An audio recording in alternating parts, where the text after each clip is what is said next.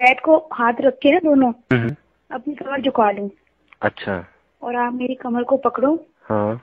और अपना वो जो है ना मेरे फ्रंट में डालो। अच्छा। हालाँकि उससे पूरा नहीं जाएगा। हम्म हम्म। ठीक है ना? थोड़ा भारी रह जाता है। तो ये कि वो ना ऊपर की साइड जो लग रहा होता है वो एक अलग मज़ा होता है। असल में सारा कमाल जो है ना आपकी टोपी टोपी जिस तरफ़ जाके रगड़ती है ना उधर ही मज़ा चढ़ता है बस उधर से। ऐसे ही जैसे सीधा लटा के तुम डालो ना अंदर हाँ हाँ। तो वो ऊपर नाफ की तरफ़ आ जाता हाँ।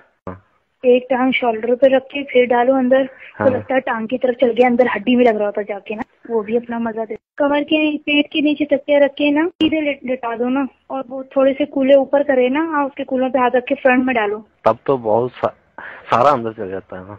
हाँ उस तरह चले जाता है। जो खड़े हाँ। हुए करते हैं वो नहीं जाता। हाँ हाँ। वो थोड़ा निकला रहता है वहाँ। हम्म हम्म। जो सीधे आप लेट जाओ और हम आपके ऊपर बैठे हों। हम्म, पैरों के बल ना आपके हाँ। ऊपर पूरा वज़न ना दे सिर्फ़ जो है ना आपको ज़्यादा ज़्यादा अंदर नज़र आ रहा होगा। फिर अच्छा ऊपर बैठ कर भी मज़ा आता ऐसा लगता है जैसे हम कर रहे हैं। ऐसे ही है।